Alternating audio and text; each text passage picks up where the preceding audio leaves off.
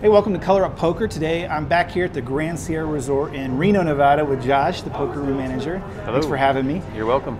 Today, so I've encountered quite a few things at the table that, as a new player, they were a little different for me. Um, things like missed blind buttons, reserve buttons. Some people, they lose all their money and they want to rebuy. So I would There's a like, lot of different scenarios. Yeah, a lot of situations that you can kind of talk through, and for those who are new to the game like me, that will have a little better understanding. Will that? Yeah, absolutely. We can go through a few of the more common scenarios Okay. and um, just kind of talk about how everything works. Let's get right to it.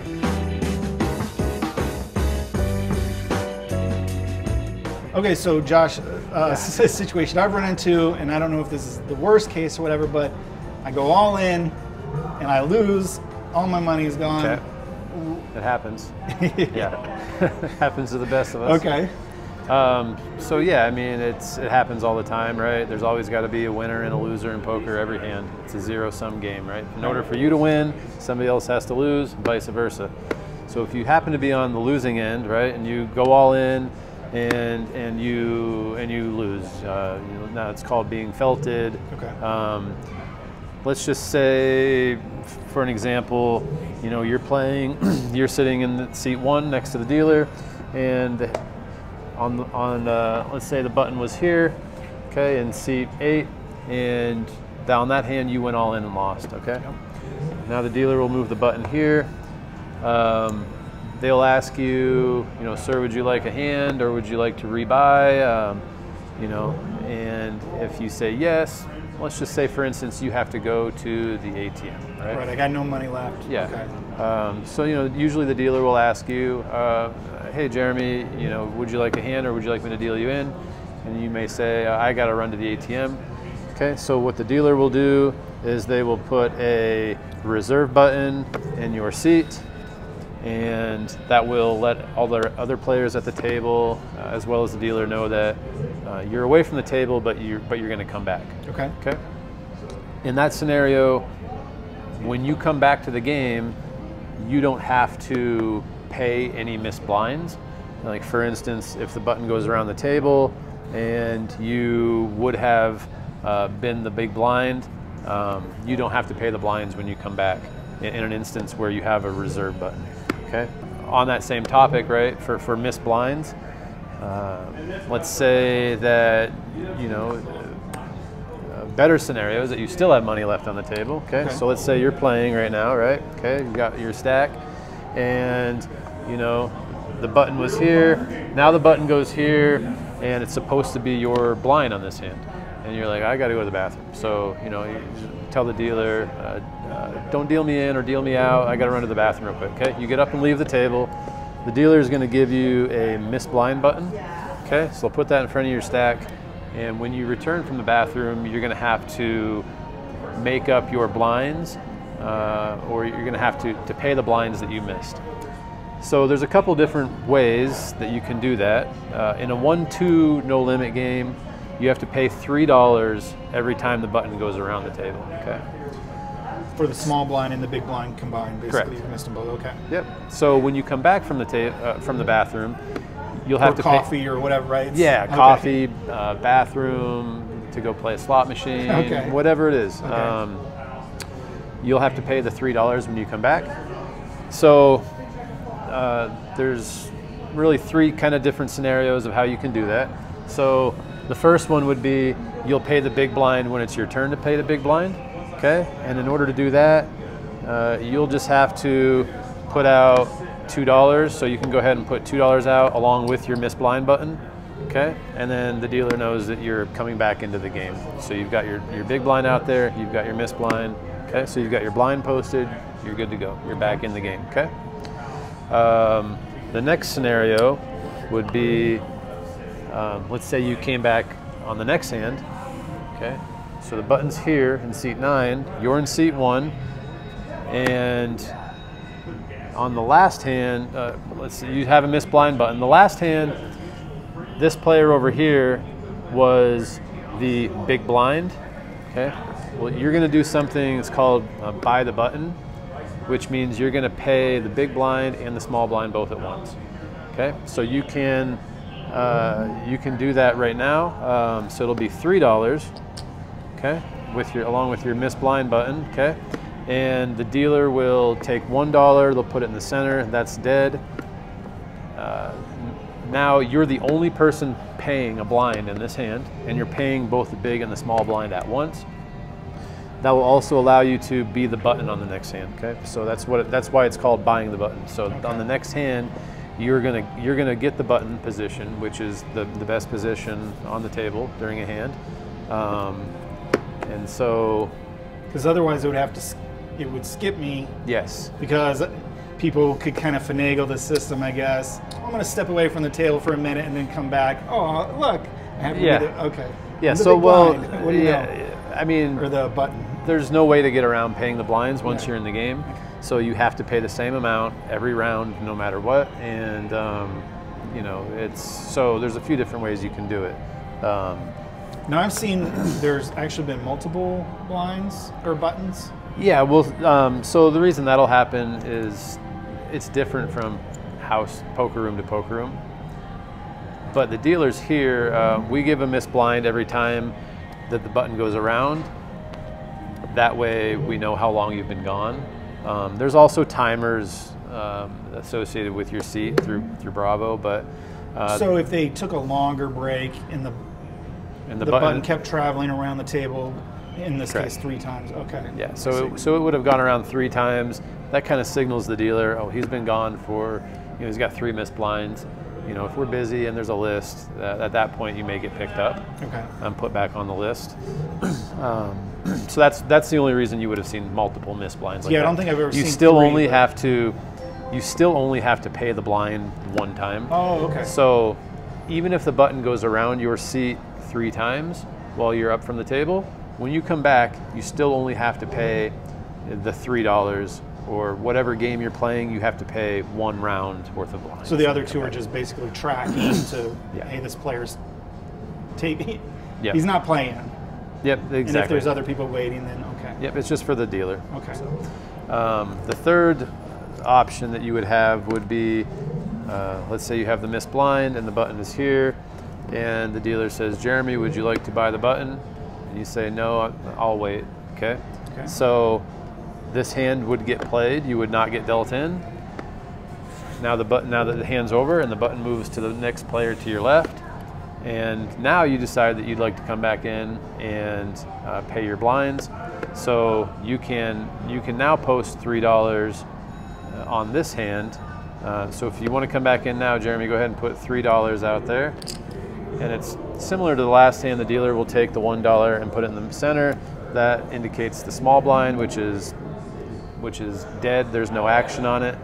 Uh, your two dollar blind that you posted um, would be you would have an option when that came around the table.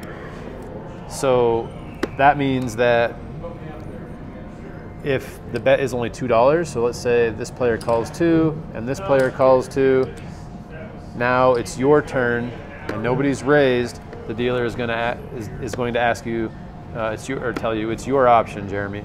Same as if you were the big blind. Okay. So you have an option to still raise if you'd like, or you can check because you're already you've already paid the two dollars. So yes.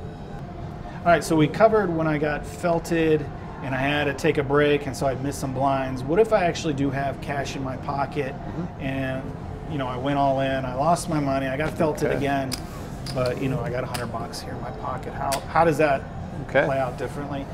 Yeah. So if you worst again worst case scenario, you go all in and and you lose, uh, you and you have money on you and you want to just re and buy right back in and get dealt in the very next hand. You know you can just tell the dealer. Um, I'm buying back in for 100 or I'm buying back in for 300 you know you, you can put the cash right out on the table right let's say you buy in for 200 the dealer will say, you know, seat one is 200 behind. They'll either sell you 200 out of their tray at the table, or they'll call and ask the supervisor to bring you $200 in chips. Now, is there any rules about how many times you can rebuy, or um, I guess it's a little different if I, you know, I've I started with 300 and now I'm down to like 20 bucks, Right. or kind of what are the differences there? Uh, so there's not any, there's no rule in how many times you can rebuy in a cash game Okay. that I've ever heard of. Okay. You can, you can buy in hundred times if you want in a day, right? Hopefully it's a bad day. Yeah, but it okay. would, yes, exactly. It wouldn't be a great day, but y- you can. Uh, there's no limits to how many times you can rebuy. There's a couple different subtleties as far as when you can rebuy and how much you need, like the minimum you need to rebuy in for. So most poker rooms, um, if you have any chips left on the table at all, even if you get down to five dollars, you can add on as much as you want. So you can add on just twenty dollars if you want to that. You could add on fifty dollars to that. Um, if you go all in and you're and you're and you have no chips left and you're to the felt, right? Now at this point you have to buy in for the table minimum uh, because it's considered a new buy-in. Uh, here at GSR we allow you to do one short buy. So the minimum buy-in on our one two no limit game is $100. We allow you to do one $50 short buy during your session, just kind of as a courtesy to you know keep people playing. So if I lost all my money, I could buy in for just fifty dollars, but one time here at the GSR. After that, I would have to meet the minimum, which is one hundred. Okay. Yep, and some of those things are different from poker room to poker room, but it's pretty standard that if you go all in and you lose and you're felted, that you have to buy in for the minimum. Minimum. Yes. Now I know we've covered this in other videos, but can you just recap what the minimum and maximum here? Because I know, I guess Reno, you said is a little different than the rest of the country as far as minimums and maximums. What do you what do you do here?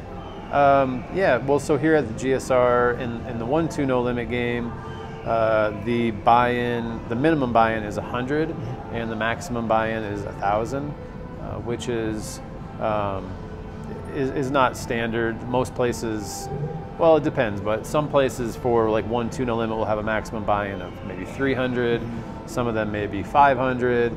Some places may be uncapped where they just let you buy in for whatever you want most of the time it doesn't really affect the game a whole lot. Um, you know, the general rule in poker, if you want a game to be good, you want people to buy, you, you want a lot of chips on the table, right? You want a lot of money to be circulating. So, in my opinion, the more that you can buy in for, the better, because you know that there's that many more chips for you to win, for you to potentially win on the table. Yeah. Now, in and there's another scenario. Uh, you guys allow matching the stack. Is that the Right. term? Yes. So let's say so so our maximum buy-in here is a thousand dollars.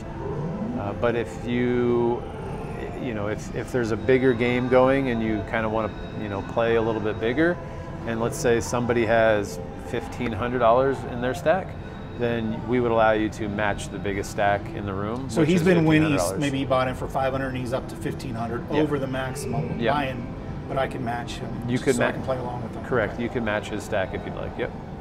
So we covered kind of the worst case scenario of me getting felted. Can you cover some situations where maybe I'm doing well? Some good some uh, good scenarios. Yeah. Let's, Best case scenarios. Let's talk about those. All right, let's say that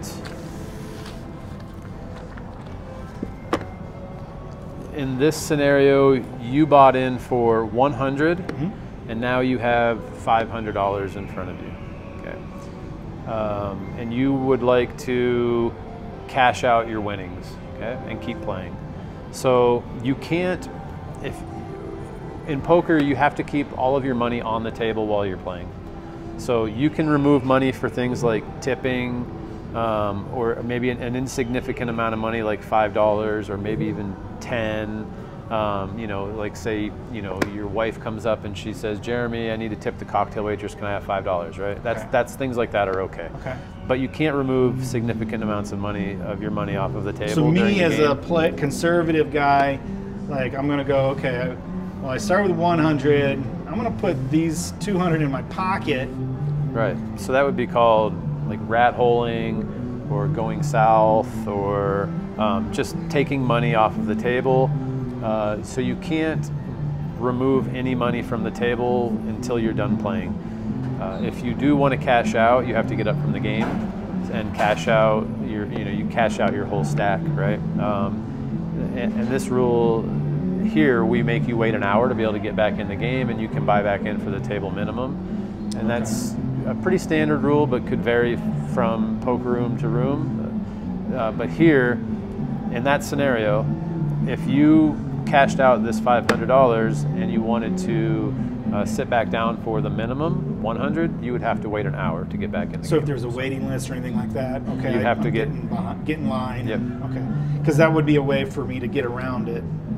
Because I guess if I won the table, I need to give the other players a chance to win it back, or I just Right. need to leave the game. Is that Yeah, if if that rule didn't exist, everybody would be cashing out their profits constantly. On right? So every time I won fifty bucks, just keep Yep. okay, and, And so never the- risk more than the one hundred. Yep. And so in the spirit of the game, the spirit of gambling and action, and and you know, it's uh, you're you're playing against other players and other guests, and uh, and like I said, if if you if you were allowed to cash your profits out after every hand, they would be everybody would be cashing Yeah, out every hand. Now that so- I'm thinking about it, yeah. that would make yeah. So, but the same situation applies if I want to take a break or anything like that. Just Yeah. I can take a break. I just leave my chips here. And, Yeah, so you can get up and you can get up from the table and take a break, or use the restroom, um, or you know go to go get dinner or lunch anytime you want. Uh, if you miss the blinds, the dealer will just give you a miss blind button. Okay, uh, and, it's different from every poker room. But if you're gone for uh, let's say 45 minutes or an hour, and it's busy and there's a list of people waiting to play, uh, you'll probably get picked up and put back on the list. Um, and so just be just be mindful of that if you do leave the table to try to make you know your break reasonable and come back. so, if I know I'm going to dinner, you know, I'm going to the the nice steakhouse. It's going to take an hour and a half or, or something like that. Yep. Then just yeah, you might as well just pick up your chips, cash out, um, and and and buy back in when you get here, um, when you get done with dinner. Here, even sometimes if you get up to go to the to dinner or uh, to lunch or something, and you're going to cash out, you can tell us, "Hey, I'm going to go to dinner. Can you put me back on the list?" Right? And before you leave, we'll put you on the list. That way, when you come back, you don't have to wait so long. So. All right, Josh. I thought of one more situation. I've done well. Um, Good job. I see. Thank you. I see my wife. Hey, honey, come sit down. I'm gonna, you know, pass you like 200 because I got plenty here. What is the kind of rules or situation on something like that? Um, yeah, so you you can't pass money to other players on the table from your stack. Okay. So it's unlike other table games in a casino like blackjack or craps. You can just pass money back and forth between you and your friends or you and your wife. Uh, you can't do that in poker uh, again because it's you're playing against other guests.